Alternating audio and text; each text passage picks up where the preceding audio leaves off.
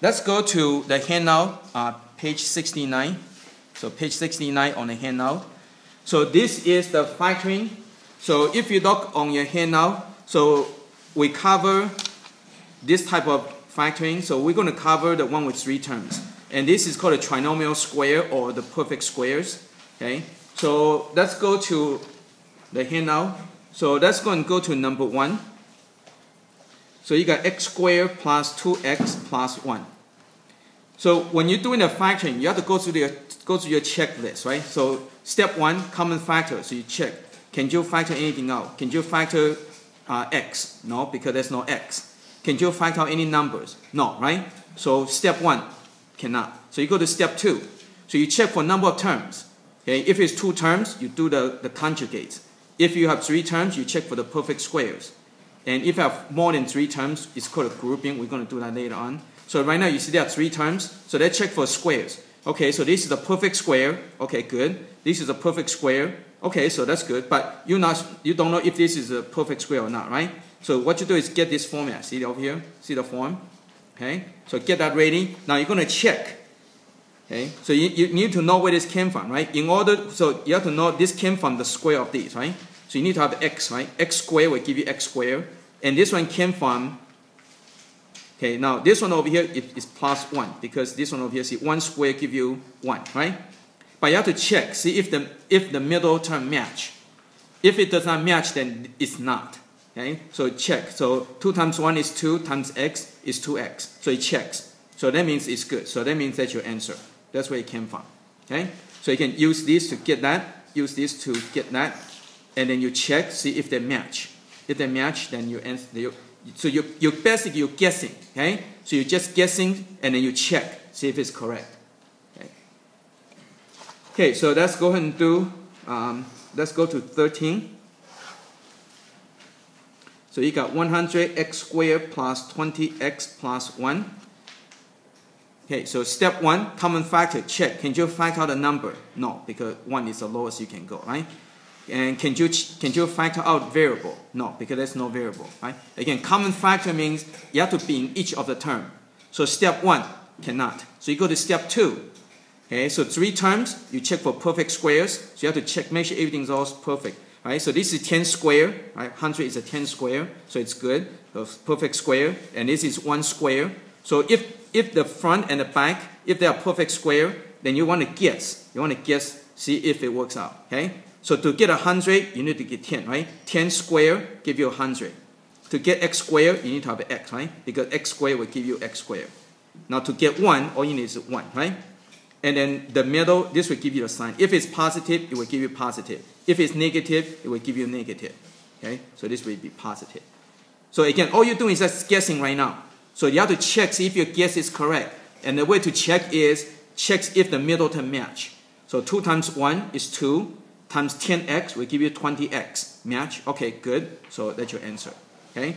Now, if it does not match, later on you're going to know that some of problem does not match. That means it's not it.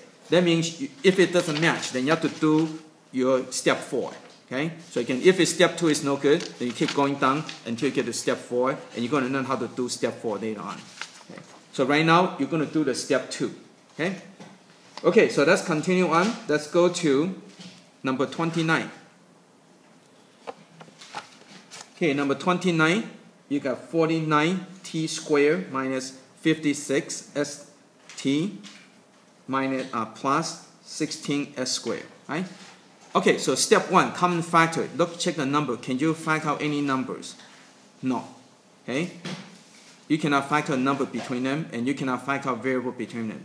Because you cannot, this one have no s, so you cannot do the s. This one does not have a t, so you cannot do t. Okay? So cannot. So you go to step two. Okay, so three times, check for perfect squares. So this, yeah, so this is 7 square, so this is good. This is t square, so this is good. This is 4 square, so it's good. This is s square, so it's good. So the front and back are all squares. So that means you want to check, see if it's a perfect square. Okay, so let's check this out. So 49, you have to have 7, right? 7 square give you 49. To get the t square, you need to get t, right? t square give you t, uh, t squared. Now over here, you're going to get minus, right? Because this always match the middle, right?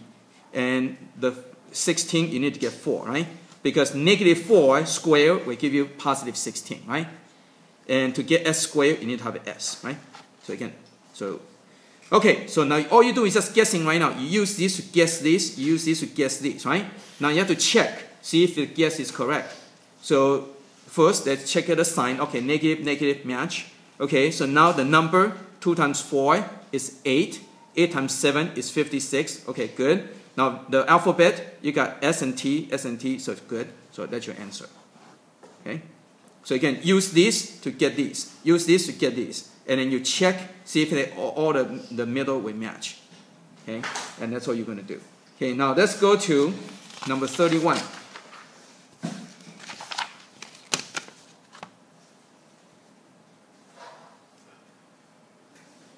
Okay, so you have a plus b squared plus 2 times a plus b plus 1. Okay, so again, goes don't I know it gets a little bit messy, but don't don't panic. You just apply the technique. Okay, so step one, common factor.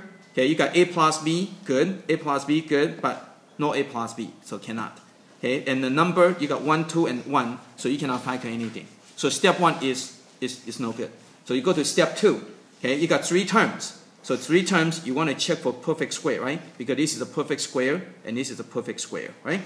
Okay, so now it gets a little bit complicated, right? But you see this over here? So is this, so this is a perfect square, so when you put it over here, you just put a plus b, right? Right, because this square will give you that. Okay, you can see that? So the parenthesis square will give you the parenthesis square, right?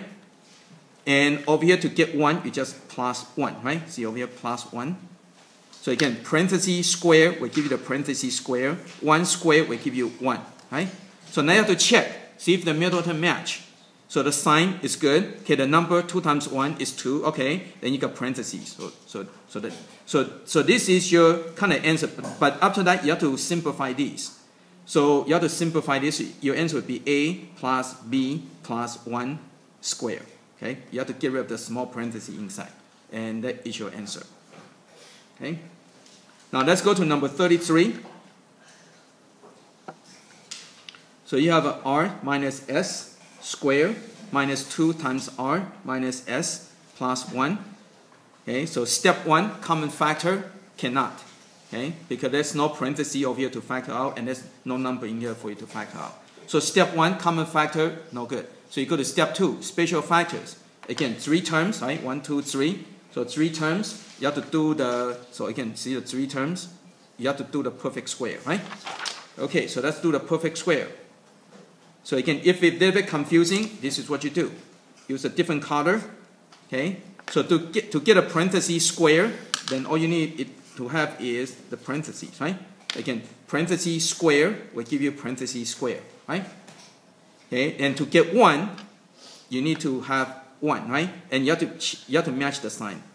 Okay, you have to have a minus over here, right?